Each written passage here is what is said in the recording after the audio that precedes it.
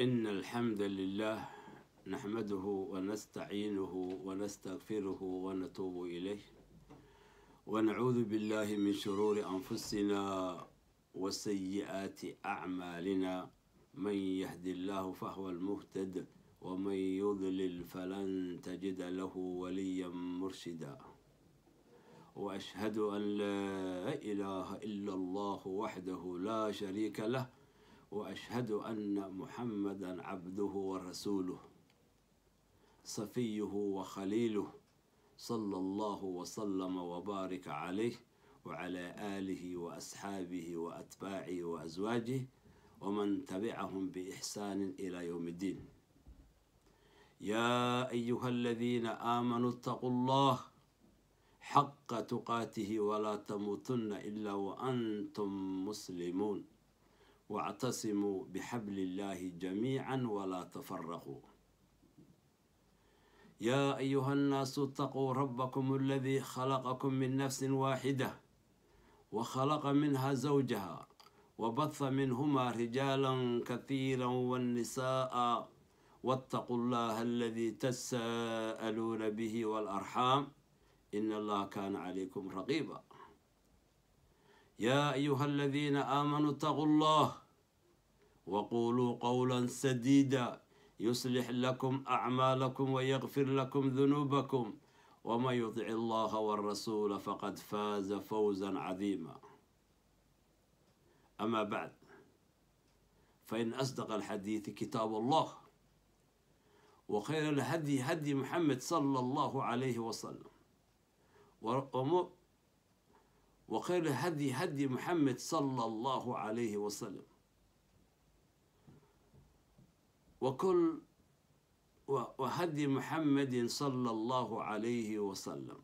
كل أمور محدثاتها وكل محدثة بدعة وكل بدعة ضلالة وكل ضلالة في النار. أعاذنا الله أنا وإياكم من الضلالة. أما بعد إخوتي وأخواتي في الله السلام عليكم ورحمة الله وبركاته إن شاء الله maanta waxaanu bilaabi doonaa darsigeennii koowaad ee ku saabsan kitaabka siirada rasuulka calayhi salaatu wasalaam siirada oo ah xaqiiqdii shay aada muhiim u ah oo qof kastoo muslim laga doonayo in uu barto qofkaad jeceshahay baa la yidhi waxaa la bartaa taariikhdiisa dhammaanteena nebi maxamed waan jecelnahay calayhi salaatu wasalaam waayo iimaanka ayaa meesha ka xirma uu yahay. Markuu cumar bin khadaab nebigu ku yidhi calayhi salaatu wasalaam rasuul allow waxa weeye maalkayga iyo caruurtayda iyo wax kastaba adaan kaa jeclahay markii naftayda laga saaro. Markaasuu rasuulku wuxuu ku yidhi laa weli jaceylkii maad helin markaasuu yidhi rasuulka allow maca nafteedaan kaa jeclay. Aal-aana uu yidhi hadda waaya yidhi. Marka rasuulka waa inaan ka jeclaana nafteenna iyo maalkeenna iyo dhiiggeenna iyo caruurteenna oo dhan inaan ka jeclaana waayo jaceylka rasuulka oo waajib ah oo iimaani ah. Qul in kuntum tuxibuuna allaha fattabicuunii yuxbibkum allah wayakfir lakum dunuubakum. Qul in kuntum tuxibuuna allah fattabicuunii inta waa shardiya jawaab shardigeedan muxuu yahay waa fa waay. Qul in kuntum tuxibuuna allaha.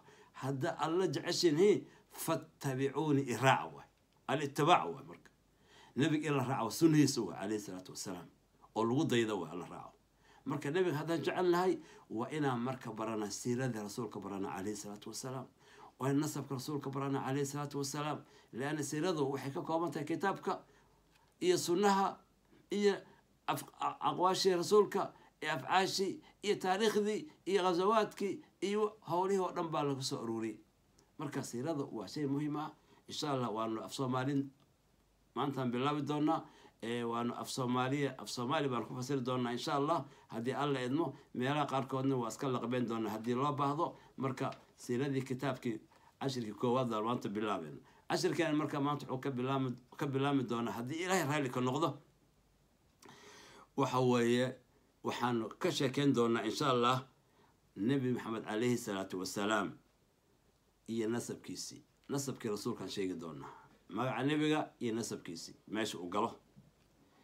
Nebi nebigeena maxamed alayhi salaa calayhi salaatu wasalaam magaciisa waxa layaha maxamed waaye.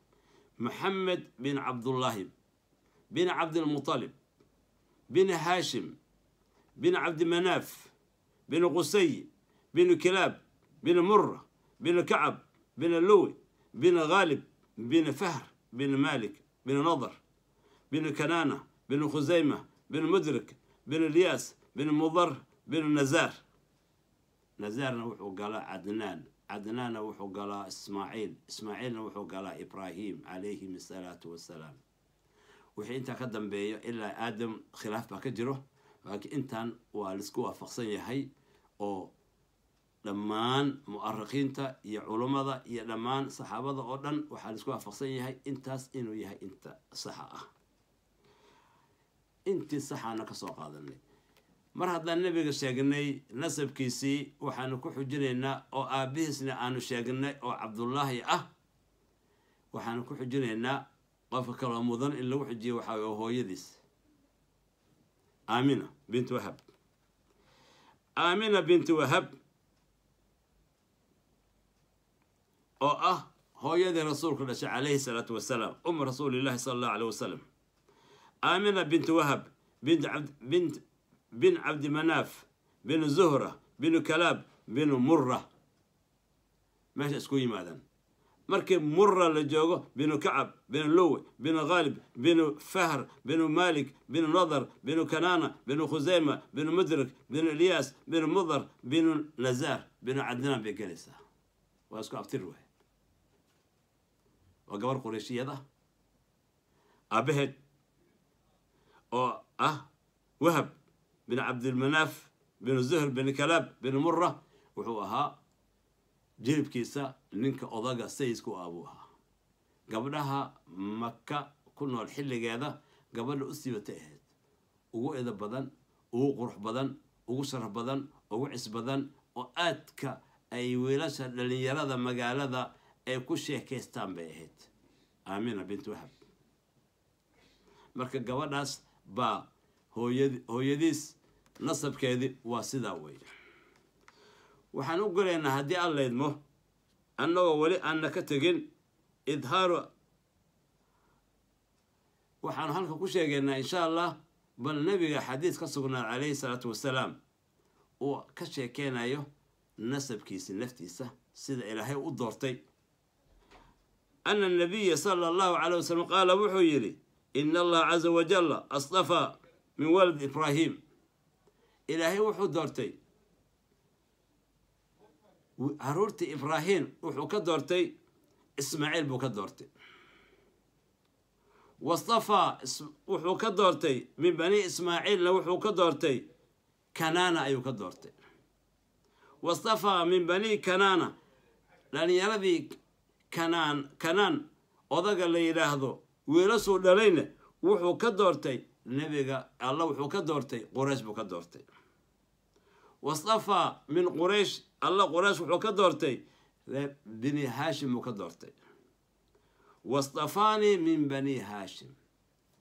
Wastafaanii allana wuxuu anugu iga doortay min bani haashim. Oo nebigii ayaa laga soo saaray bani haashim marka nebiga asalkiisi wuxuu galaa ismaaciil. Ismaaciilna waa ina ibraahim waay. Halkaa marka waxaan ka geli doonaa haddii aan leydmo waxaan soo qaadanay nasabkii baa soo qaadanay nebiga calayhi salaatu wasalaam waxaan soo qaadanay abtirkii waxaan soo qaadanay nebiga hooyiis baan soo qaadanay. Xadiiskii nebiga oo ilaahay uu quraysh aga doortay. Reer bani haashim reer bani haashim nebiga aga doortay ayaan soo qaadanay ka horne ibraahim ismaaciil baa looga doortay. Ismaaciilna waxa weye kanaana looga doortay kanaanana quraysh baa looga doortay qurayshna reer bani haashim baa looga doortay reer bani haashim nebiga looga doortay calayhi salaatu wasalaam. Okay insha allah markaad waxaan geli doonaa haddii alla alla noqdo. Dikru taswiiji cabdullaahi bin cabdilmutalib waxaan ka sheekan doonaa bal nabiga aabihiis iyo habkuu u guursaday. Aamino aamina bint wahab. Kaana cabdilmualib cabdilmualib wuxuu ahaa mid mid u raadiya wuxuu cabdilmualib raadiyey uu u doonay wiilkiisii cabdullaahi bin cabdilmualib ahaa gabadhii la odhan jiray aamina bint wahab oo nebiga hooyadiis ahayd ayuu u doonay. Sidii markaas curfiga iyo dhaqanka meesha ka jiray ayuu u doonay wuu ka raad aabaheed buu ka doonay waana la siiyey. Kadibna waa loo aroosiyey oo aroos buu la galay. Fa baqaa macahaa mudda kadibna muddo ayuu la noolaa muddo ayuu la noolaa oo cabdullaahi iyo aamino aamino waa la dhisay aroos bay galeen guri baa loo dhisay aroos bay galeen wayna wada noolaayeeno. Dee laba qofoo isqabto oo markaas xalaal isu ayay ahaayeen.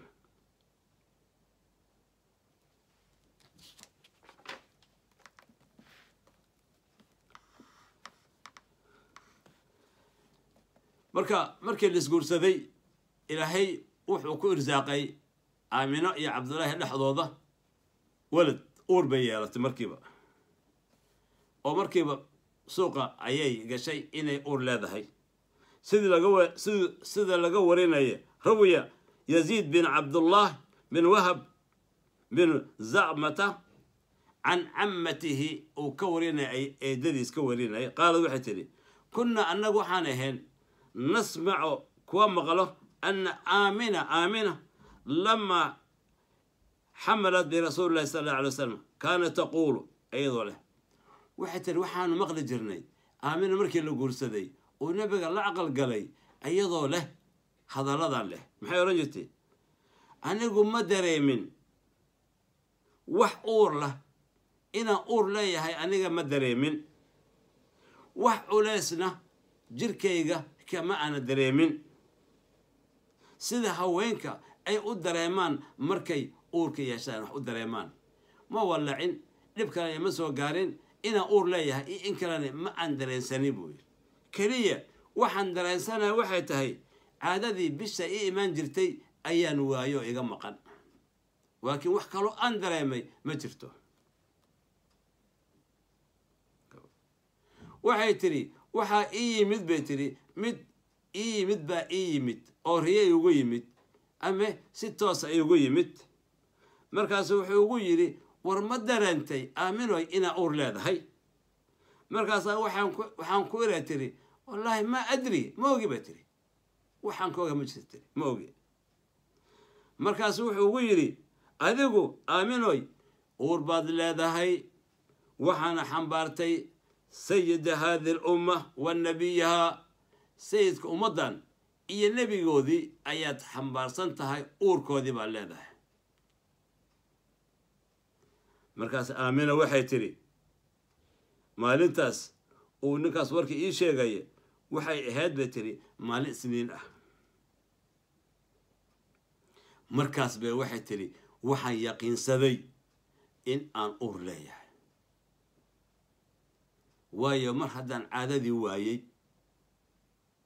oo sifooyinkii haweenka lagu yaqiin markay uurka yeeshaan aanan midna hayn haddaan dumarkii kale aan waraystay ama arkay aanna joogi jirayn aana calaamadihii aan midna ka hayn ilaa calaamadii caadadii keliya aan waayey marka riyadana saas laygu sheegay markaas ayaan yaqiinsaday tiri inaan uur leeyahay.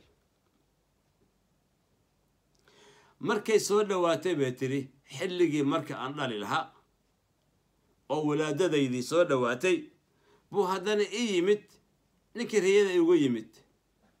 Oo wuxuu igu yidhi waxaad tidhaahdaa waxaan magan galay. Allah ilaah keliya magan galay. Ilaahgaasoo assamada ilaah la cuskada ah ayaa magan gal leh min shari kulli xaasidin min shari kulli xaasidin. Midka sharta xaasid kasto shartiisii ayaan ka mangal ka magan galay dheh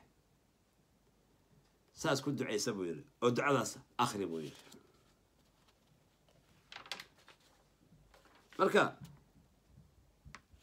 nebiga xilligaasu marka dhashay taariikhda marka nebiga uu dhashay maalintaas waxay ahayd oo nebiga dhashay calayhi salaatu wasalaam sida taariikhda sheegayaan aqwaal badan baa jirto oo la isku khilaafsan yahay xitaa maalinta la isku khilaafsan yahay waxaa la isku khilaafsan yahay kole taariikhda rabiicul awal waa la isku waafaqsan yahay walaakiin ma koobi ka dhashay ma labuu ka dhashay ma sagaal buu ka dhashay ma sideed buu ka dhashay ma labiyo toban buu ka dhashay. Aqwaal badan baa jirto walaakiin qoolka inta badan loo badan yahay waxa weeye waa labiyo toban. Nebigu wuxuu dhashay calayhi salaatu wasalaam bisha mawlid buu dhashay oo loo yaqaano caamafiil caamafiil maxaa loogu baxshay? Saa ogteen taariikhdu waxa weeye dalka yemen waxaa xukumi jiray niman etoobiyaan ah etoobiya laga xukumi jiray. Boqorka markaas etoobiya joogay waxaa wakiil u ahaa nin abrahama la yidhaahdo ayaa wakiil u ahaa oo u joogay. Ninkaas wuxuu ku fikiray carabtan u sii socoto xagga iyo maka iyo inay ku soo xajiso leanna xajku waa jiri jiray xitaa xilligii jaahiliga wuu jiri jiray way xajin jireen intay isqaawiyaan dharka iska dhigaan rag iyo dumar bay dhawaafi jireen ayagoo qaawan marka in uu ka soo leexiyo uu yidhaahdo maxaad ka doonaysaa xaggaas? Waxaad ku xajinaysaan meesha la yidhaahdo yemen. Buu wuxuu ka dhisay kiniisadii abad la dhiso kiniisadii ugu weyneed. Ayuu dhisay oo aada u qurxiyey oo aada u weyneyd. Uu u talagalay kiniisadaas inay noqoto meel dadka muslimiinta ah ee u soo xajka u soo aadaan. Nin dadka carabta ah ayaa maqlay in kiniisadan loo dhisay in maka lagu bedelo oo maka loo socdo xaramkii maka loo socdo oo la rabo in la dumiyo. Markaasuu xanaaqay oo ka carooday. Habeenkiibuu u soo dusay. Intuu ku dhex saxarooday ayuu saxaradii mariyey uu meel kasta ka gaarsiiyey gudaheedii. Dhulkiina ku daadshay subaxii markii la yimid baa waxaa loo yimid dhulkii wada saxaro ah. Markaasaa la yidhi yaa sameeyey ee nin carabaa sameeya carabtaa samaysay ha soo qabto. Ninkii waa fakadaa ilma joogo. Markaasuu yidhi maxaaba keenay? buu yidhi. Waan ciidan buu abaabulay. Ay maroodiyaal ay uu wato taangiyo. Bay markaas ahay maroodiyaasha oo wax kasta jiidaya wato ciidan xooglu ayuu isku dubut ritay wax alla wixii carab ahaa uu sii marayna cagtuu sii mariyey. Markaasuu wuxuu ag degay meel maka u dhow ayuu degay. Waadiguu degay waxa weeye waa la arkaa marka laga yimaado carafaad laga yimaado oo loo socdo xagga mina loo socdo ama mina marka loo socdo ayaa la sii maraa meeshaas ayuu degay markuu degay ayuu wax alla wixii xoolo ahaa oo carada jooga dhan buu soo ururiyey. Oo kulla halii soo qabto. Hantidii buu soo la soo wareegay. Hantidii buu keensaday wuu soo soo xaraystay markaasuu wuxuu yidhi war meeshaan sayidkeedii ha la keeno. Ninka sayidka meeshaan ka ahaa ha lai keeno. Sayidkii baa la raadiyey. Sayidka markaas maka wuxuu ahaa cabdimutalib buu ahaa nabiga awogis baa meesha oday ka ahaa oo sayid ka ahaa. Waa loo keenay waa u yimid turjumaan buu u yeertay luqa alcarabiya ah. Cabdimutalib wuxuu ahaa nin aada u dheer oo qurux badan oo qureeshi u ahaa oo heybad leh oo sayidkii sayidulqoom ahoo meesha maka la yidhaahdo waadiga maka la yidhaahdo ninka sayidka u ah ayuu ahaa. Ragga gacanta ku hayo xaramkana way ahaayeen oo sharafta meesha ayaa gacanta ku hay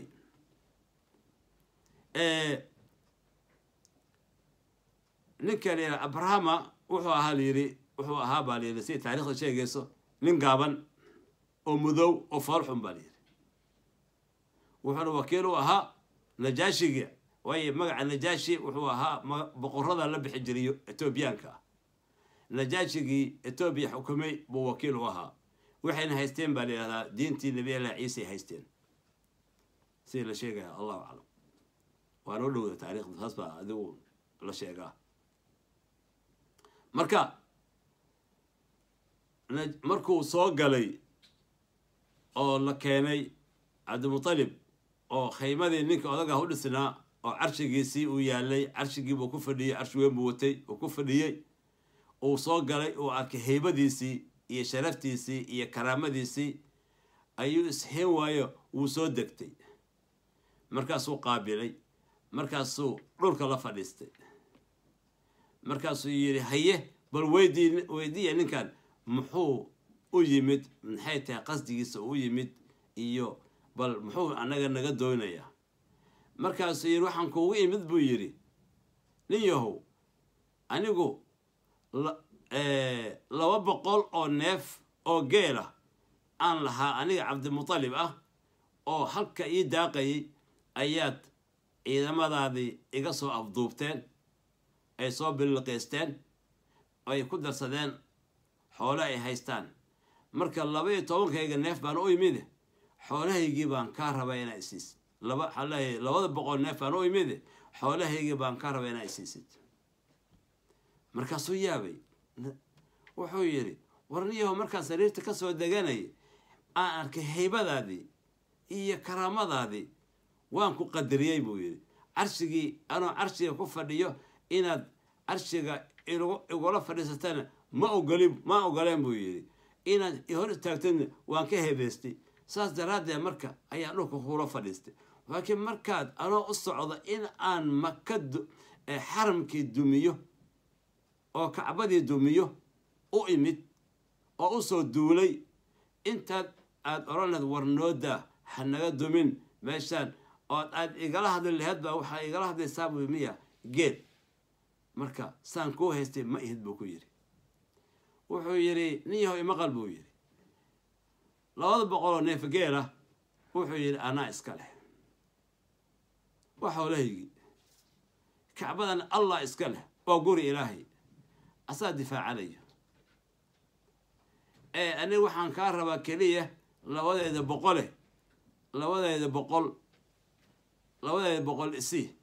Wax kale kaama rabe. Markaasuu yaabay.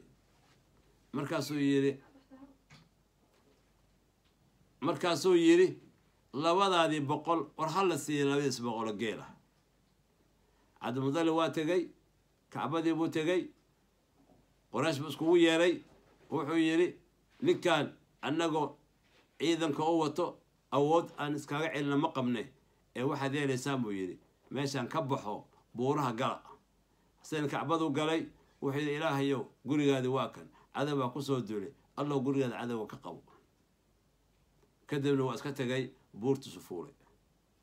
Ninkii soo duulay oo doonayey ilaahay wuxuu ku salliday maroodiyaashii waday markuu damca inuu dagaalkii uu xagga xagga iyo kacbada uu u ruqaansado uu weerar ku qaado maroodiyaashii waa dhaqaaqi waayeenba kacbada ma aadayaanba.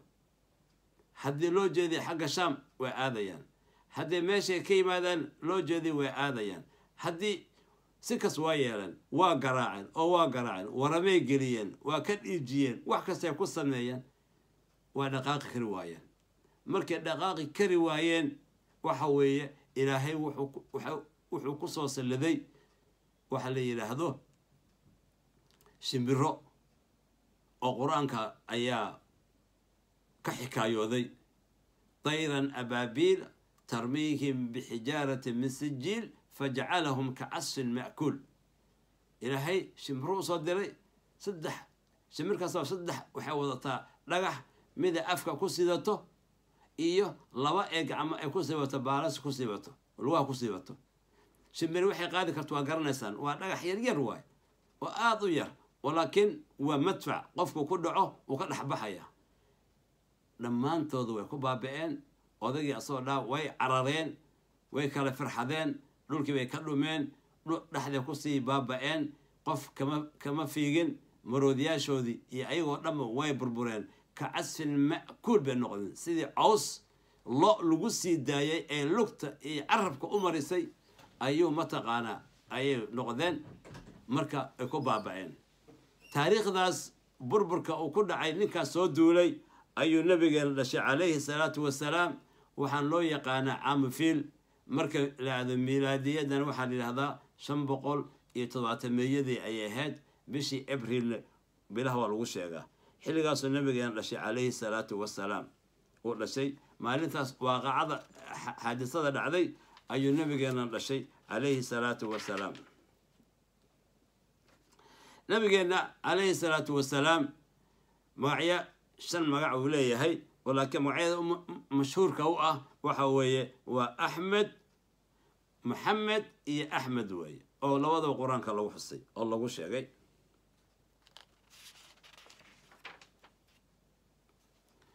Halka marka waxaan ka geli doonaa insha allah nebigii waa dhashay. Dhaqanka carbeed wuxuu ahaa marka haddii ilmaha dhashaan ilmaha in loo raadiyo haweenay nuujisa oo ku nool meel baadiye ah sida si uu ilmahaas meesha ugu soo barbaaro oo uga badbaado xanuunka magaalooyinka ka jira uga badbaado inuu ka badbaado waxaan la yidhaahdo xagga luqadda inuu mataqaanaa afkii carabiga saxa u barto korismadiisa ay badato baadiyuhu waa meel hawo furan oo hawo macaan waxay cunayaan waa wax fresh ah oo mataqaanaa oo oon xoolaad ah. Marka dhaqankaas ayaa jiray. Marka waxaa bilaabaysa marka nuugmada nebiga calayhi salaatu wasalaam. Haddaba nebiga calayhi salaatu wasalaam markuu dhashay qofkii u horreeyey oo nuujisay waxay ahayd thuwaybiya gabar la yidhaahdo ayaa nuujisay waxayna thuwaybiya markaas wiil yar oo la yidhaahdo masruux ayay naaska ku haysay ay nuujin jirtay ee dhashay. Oo waxayd hooyo irmaan bay ahayd oo ilmo yar haysato. Marka weyn qof qofkii ugu horreeyey oo naaskeeda uu qabtay ayay ahayd aan hooyadiis ahayn. Thuwaybiya ayaa la odhan jiray. Gabadhaas thuwaybiya la yidhaahdo waxay nuujisay intaysan nuujin xaliimad sacdiya oo aan taariikhdeeda u tegi doono insha ka sheekeyn doono thuwaybiya ka hor intaysan nebiga nuujin waxay nuujisay xamza bin cabdilmutalib ayay nuujisay. Marka xamza iyo nebigu marna waa walaalo oo xagga ridaac ay walaalo ku noqdeen oo thuwaybiya wada nuujisay. Marna xamse waa nebiga adeerkiis oo xamse waa ina cabdilmutalib wey marka waxay kaloo nuujisay gabadhaas ee nebiga kadib waxay nuujisay nin kaloo asagana la yidhaahdo salamata bint cabdilasad la yidhaahdo ayay nuujisay. Marka nebiga waxaa xagga naaska walaalo kula noqday oo naaska ay walaalo ku yihiin wiilkii masruux ay nuujinaysay thuwaybiya waxay naaska ay walaalo ku noqdeen xamza waxay naaska walaalo ku noqdeen salamata bint cabdilasad waxaa kaloo ay naaska walaalo ku noqdeen oo kale cabdullaahi bin xaaris bin bin cabdilcuza oo ah sacdiya wiilkay wiilkeeyana wadatay aan u tegi doono qisadiisa. Marka waxaana islaamka u qabaa wixii nasabka xaaraan ku noqday ridaacana waa xaaraan buu ku yahay. Marka nebiga intaasoo qof ayaa la noqotay walaalo la noqday oo xagga ridaaca ah oo adeerkiis xamza uu ka mid yahay radia allahu canhu wa ardaah oo sayid shuhadaa hadi lumma uu yahay. Haddana waxaan geli doonaa insha allah qisadii ku saabsaneed xaliima sacdiyo iyo sidii ay nebiga kula kulantay iyo markay maka timid iyo waxay nebiga kala waxay ay waxay la kulantay iyo nebiga markay soo qaadatay waxyaabihii mucjizaadka ay aragtay iyo muddadii nebiga ay la noole ay gacanta ku haysay ay soo ay korinaysa marna ay nuujinaysa marna ay korinaysa xaliimatu bintul bintulxaarith gabadha la yidhaahdo waxa weeye waa rasuulka calayhi salaatu salaam waa hooyadiis waay oo ah waa tii nuujisay weeye oo naaska siisay. Haddii gabari wiil dariskeeda oo yar intuu u yimaado ay naaska u dhigto uu naaska nuugo u jiqo khalaas wiilkaas hooye u noqotay. Carruurtay dhasheenna waa walaali walaali yihiin oo isma gayaan halowsaadu waxay tidhi waan baxnay tidhi annagoo ah dumar badan oo min bani sacad bin bakar alhawsaan reerkaas annagoo ah ayaa baxnay tidhi qabiilkaas annagoo ah waxaanu u baxnay bal inaanu raadinno waxaan aan nuujinno dad aan nuujinno carruur aan nuujinno ayaan raadin raadsanay tidhi. Waxaana ka raadinay magaalada makaan ka doonnay aan ka baadigoobnay waan baxay tidhi anigoo wata way tidhi. Dameer yar wato. Dameertaasoo ah dameer caato ah oo tacbaan ah oo midabkeeda uu yahay midabka qamraaga la yidhaahdo macnaa jaallo jaale wax isku dhex jira ah. Baan bay tidhi aan la baxay tidhi. Oo midabka dameerto wuxuu xagga u shabahaa xagga cagaarka ayuu shabahaa cagaarku shabahaa marka dameertaas ayaan la baxay tiri. Dameertaasi waxay tiri waxay dameer aada iyo aad u tacbaan ah oo aada iyo aada u liidata ayay ahayd bay tiri. Kow waxay tiri waxaan kaloo aanu kaxaysanay tiri oo aan wadanay anigii odagayga iyo wiilkaygana raacay tiri oon wadanay ba tiri neef geel ah qaalin neef geel ah oo duq ah baan wadanay tiri. Oo aada iyo aad tacbaan u ah oo weyd ah ayaanu wadanay tiri oona ayaanu wadanay. Safarkaas oo ah safarkii aan wada galnay aniga iyo wiilkii yaraay ay wadatay oo ah cabdullaahi bin xaarif bin cabdilcuza iyo odageedii ay wadatay oo la socday oo ahaa xaarif bin cabdil bin xaarif bin cabdil bin cabdilcuza ahaa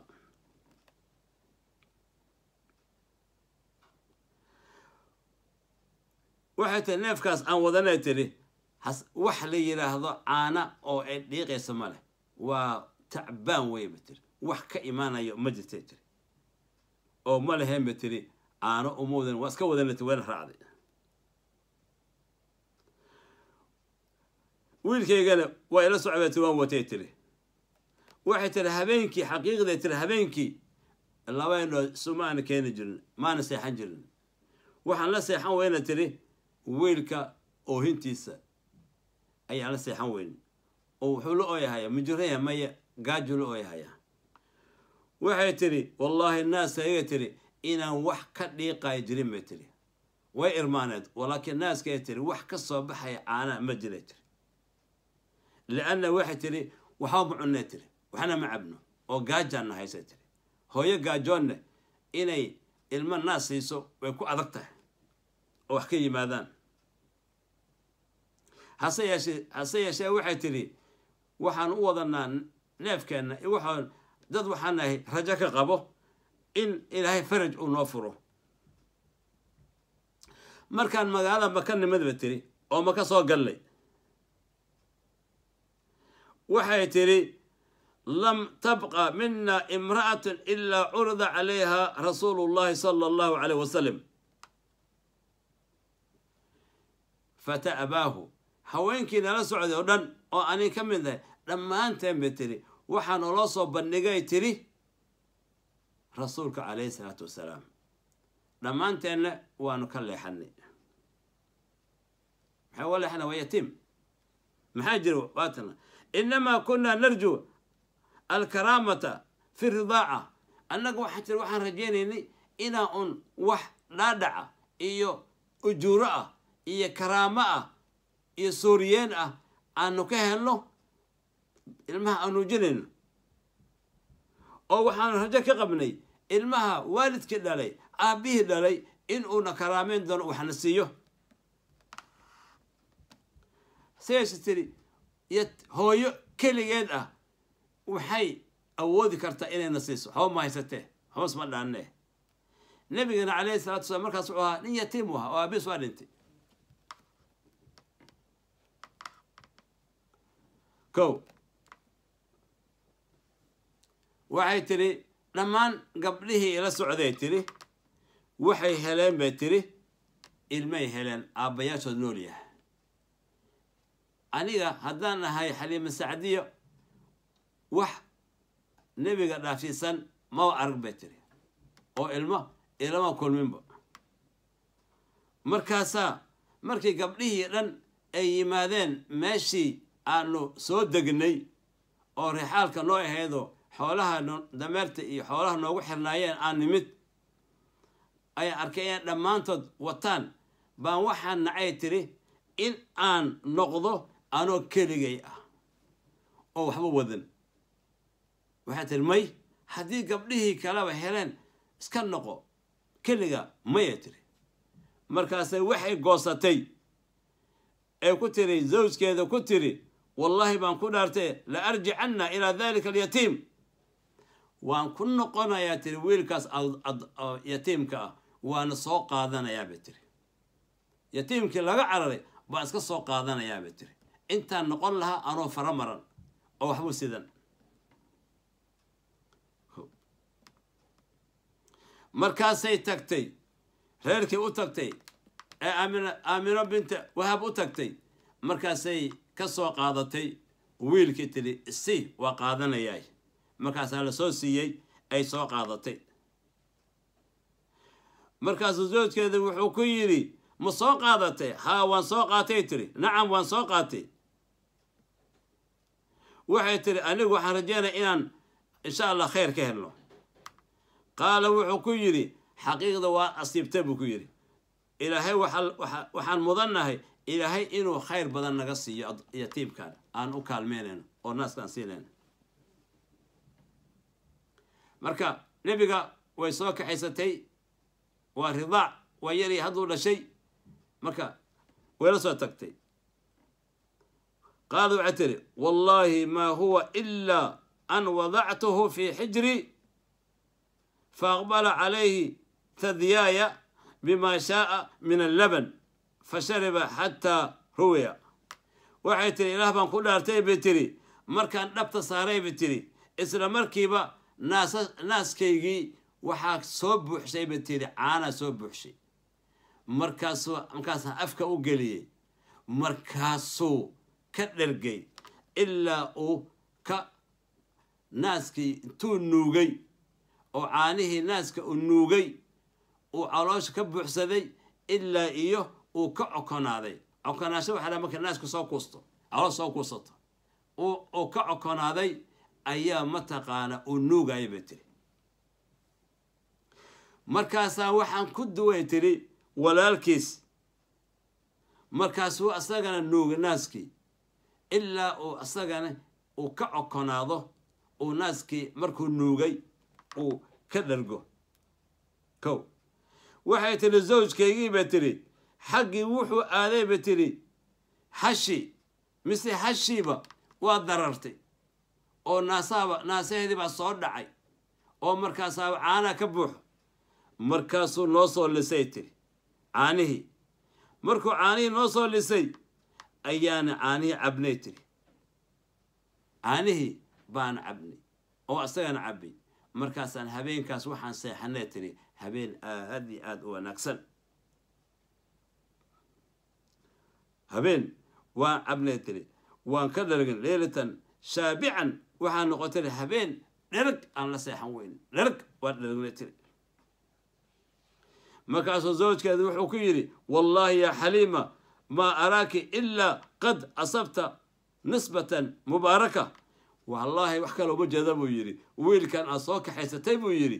Waa qeyb barakaysan weeye. Waa nin barakaysan weeye. Tiri baraka meesha iiga muuqato yidhi. Barako ayaa ii muuqato. Naaskaadiina caanuu keenay. Oo wiilkiina caawo maanta waa nuugay asagiina waa nuugay hashiina ilaahay waxa waaye way loo goglatay. Markaasaan caani ka lisannay oo aanu maanta hadda caawa dheragsannahay oo caawa aanan oohin iyo hurdo la'aan aanan haysan waxay tiri waa arrin baraka leh ayaa la kulanay tiri waxay tidhi qad naama sabiyanaa carruurteennii aan wadanay labadii carruuraan wadanay aan watay tidhi waa ii seexdeen bay tidhi. Ayagoo dheragsan oo caloosha u buuxdo ayay ii seexdeen waa barakadii rasuulka calayhi salaatu wasalaam salawaatu ullaahi wasalaamu calayh yaa rasuul allah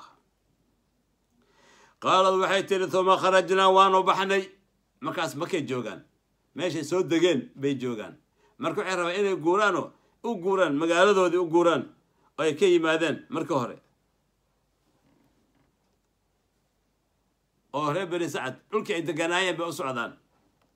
Huma kharajnaa waa maxay tidhi faqaala waxay wallaahi waxay tidhi la kharajtu waan baxay tidhi waxaan baxay tidhi dameertaydii aan saarnaa inayba gooysay bay tidhi.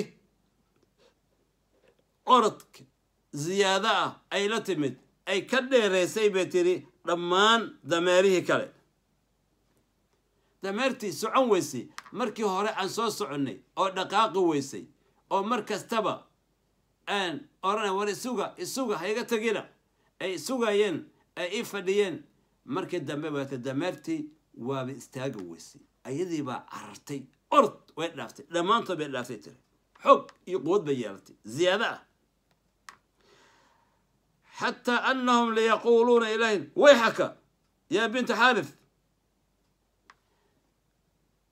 war ina xaarisow waxay tidhi warsaan mahna sug intay u cararaysaa مركز وحكيرن وارتمي مية سنة هن دميرتي مركز أوضتي مركز كويري نعم فوالله وأيده بلا والله وأيدي بانكوير وأيدي وين بيقتري فيقول حتري إنها لشأن أرنت حتري وأرن شأن بين هذا أرن زيادة بامشي كوسو كرودي هذا حتى أنت قدمنا منازلنا ilaa aanu ka nimaadno guryaheenni iyo degaankii aan deganayn aan ka nimaadno. Min alxaadir fanazalnaa bani sacad bini bakar. Waxaanu soo deganay reer bani sacad bini bakar meeshay deganaayeen baa nimid degaankoodii waay.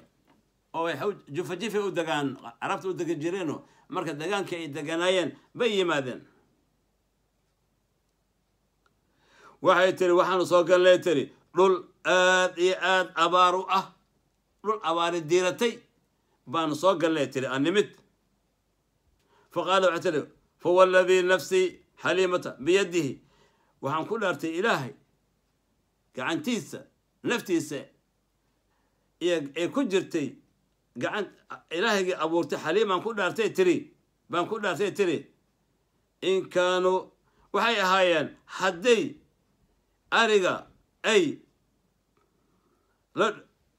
nimanka qowsaarta marka ariga ay raacaan ay duurka u kaxeeyaan ay banaanka u soo u soo celiyaan wuxuu soo noqonayaa arigeenni arigii reer xaarif wuxuu soo noqonayaa asagoo dhergay oo haddana dararay oo candhadii oo dhan qaadila caano darti buu soo laabanaya. Soona dhergayo calooshiisa ay taagan tahayo soo cokonaatayo. Haddana candhadii oo dhanna riyihii ay candhadii qaadi laayeen baan soo noqonaa baan soo noqdaa. Dadkii kale oo nala deganaane waxay soo laabtaan xoolahoodii oo tacbaan ah oo gaajo ah oo rafaadsan ayay ku soo laabtaan. Markaasay waxay yidhaahdaan dadka waxay yidhaahdaan waylakum war maxaa halaagiine maad ariga ku raacdaan meesha midka qowsaarka. Xaliimo sacdiyo arigiisa ku raaco ma ku raacdaan bay tiri. Oo meesha maa geysaan? Markaasay wayna raacaan. Meeshii aanu ku markaas way raacaan bay tiri. Waa isku darsadaan. Way is raacaan. Markaas isku meel xoolaha ku daajiyaanu ay geeyaan. Hase yeeshee markay soo laabanayaan waxay soo laabtaan kuwaan oo dharagsan oo candhadeena caano ka buuxo reerahana kuwoodii ay abaari hayso tacbaanoo aan socon karin. Bay soo laabtaan.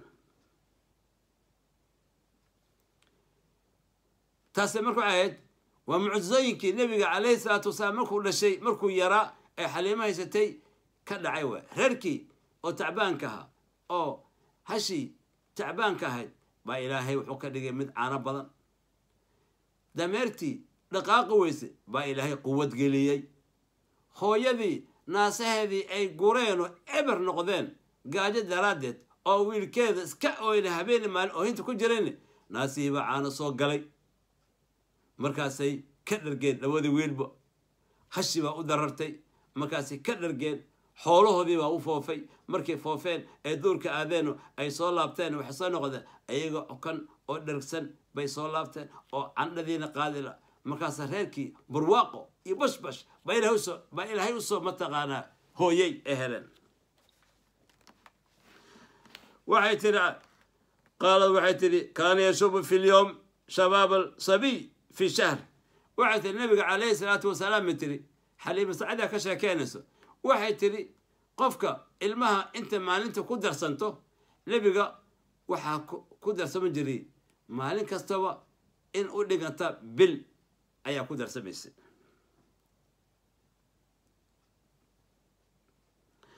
Ilmuhu haddii bil wixii ku darsamo nebiga waxaa ku darsami jiray sanad.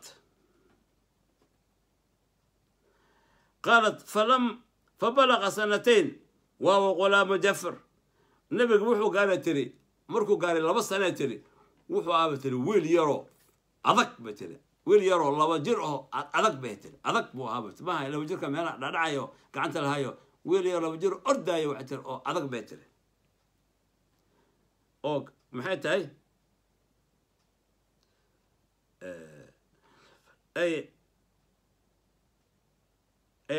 Macnaa wa asbaxa waxaa qawiyan. Wuxuu noqday tiri wiil awood badan xoog leh buu noqday.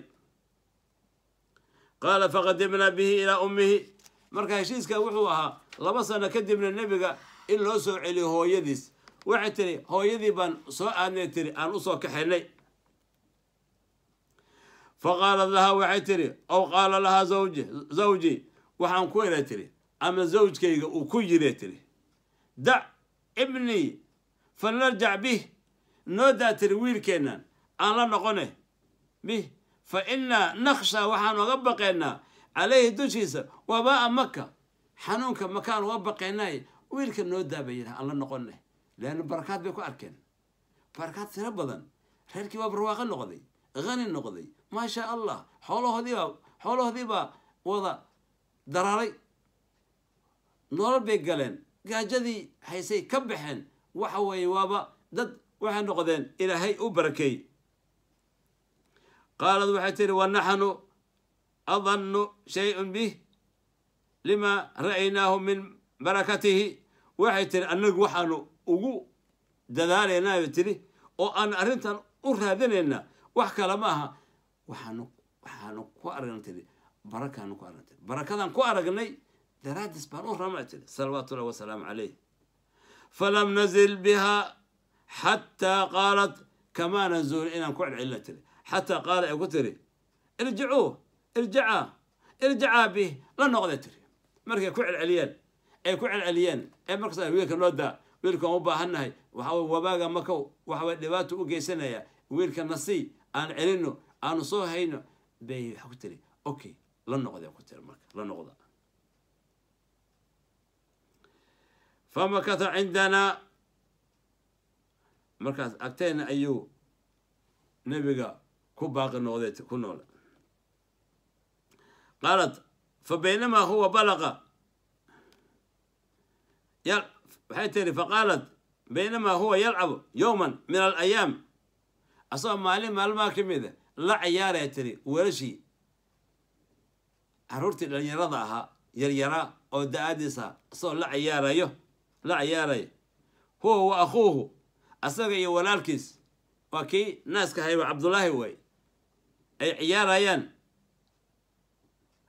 khalfa albeyt guriga meel gadaashiisa ay ku cayaarayaan id jaa'a akhuuhu waxaa yimita walaalkiis yashtaddu fa yuqaalu lahu liabiihi adrika akhii alqurayshiy walaalkii baa yimid oo ordaayo oo qayrinayo oo wuxuu leeyahay wuxuu ku yidhi abiis adrakaa gaara akhi alqurayshiy walaalkayga qurayshiga wuxuu yidhi gaara gaara gaara faqad jaaa rajul rajulaani baa u yimid laba nin baa u yimid markaasay seexiyeen fashaqaa badnahu calooshii bay jeexeen qaalat fakharajtu waan soo baxay tiri wa kharaja abuuhu waa soo baxay na wuu soo baxay abuuhu wuu soo baxay yashtaddu naxwuhu asoo xaggiisa u soo suxul duubanayo u soo adkaynayo wuu soo baxay wa huwa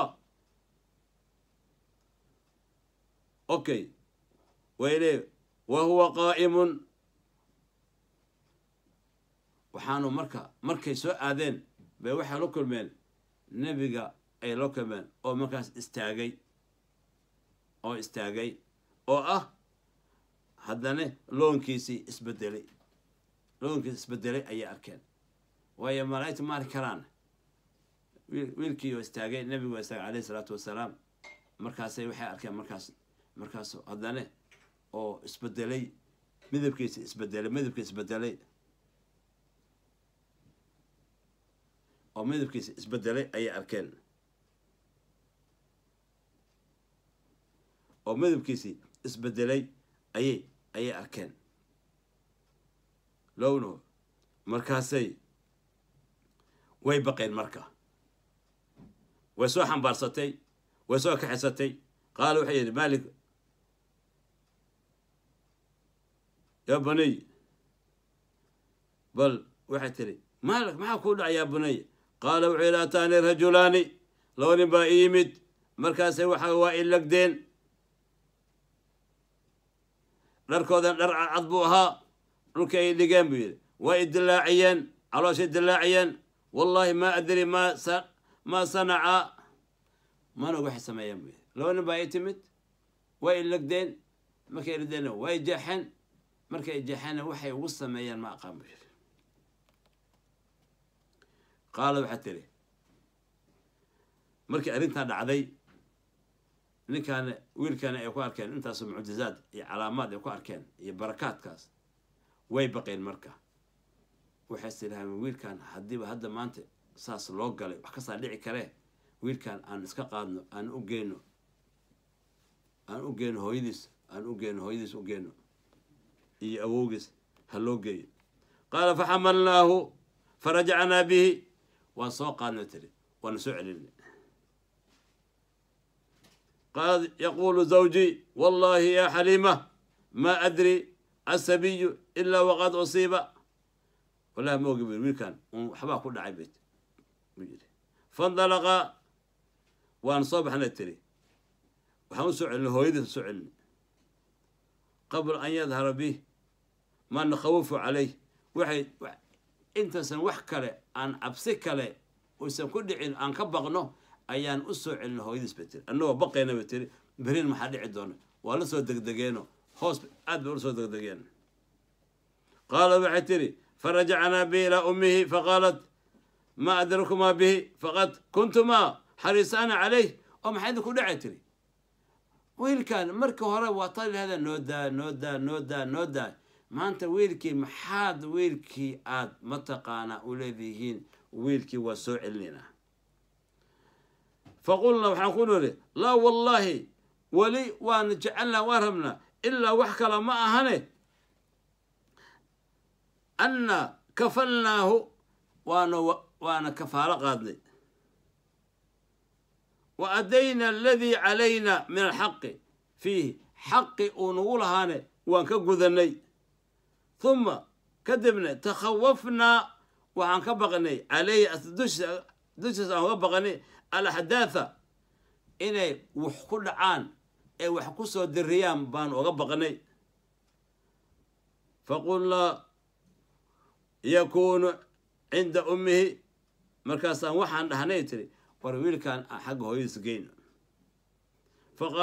tidhi wallaahi maa adrii bikumaa akhbaranii bal ii sheegay tidhi waxa adinka ku dhaca wiilka qaalad waxay tidhi xaliim wuxuu ku tidhi fa wallaahi maa zaalat bina xataa akhbarnaaha khabarahu kamaana zuulin ilaa aanu warbixintii aanu ka siino kamaana zuulin qaalat takhawaftumaa calayhi. Miyaa u baqdeen bay ku tili? Oy aamina ku tili. Laa wallaahi ina liibni hada sha'nun laa laa akhbarakumaa canhu.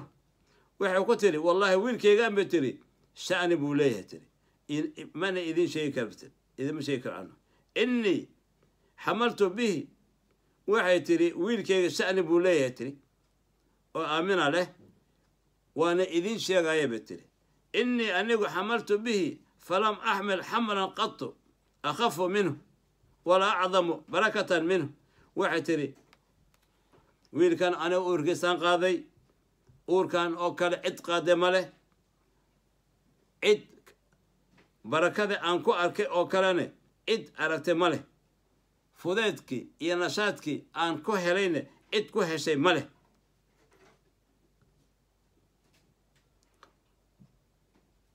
Marka sidaasay marka wiilkii nabiga calayhi isalaatu wasalaam ay ugu soo celiyeen oo u yimid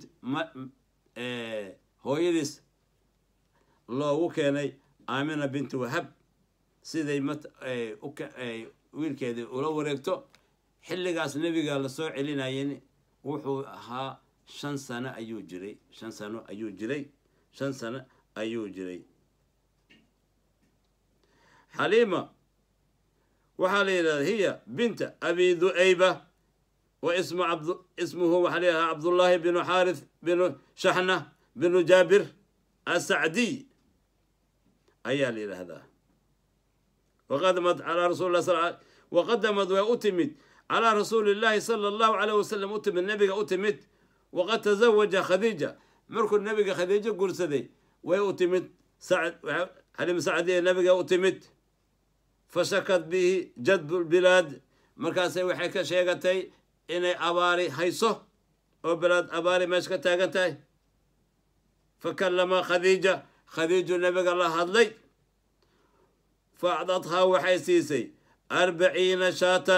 أفرت النافو أريسيسي وعدتها وحيسي. بعيرا رتين ويسيسي.